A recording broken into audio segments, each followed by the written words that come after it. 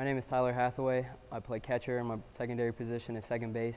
I'm a 2016 grad. I go to Kennesaw Mountain High School. I play travel for Southeast Storm. Thank you for watching my PrepStar video. Yeah.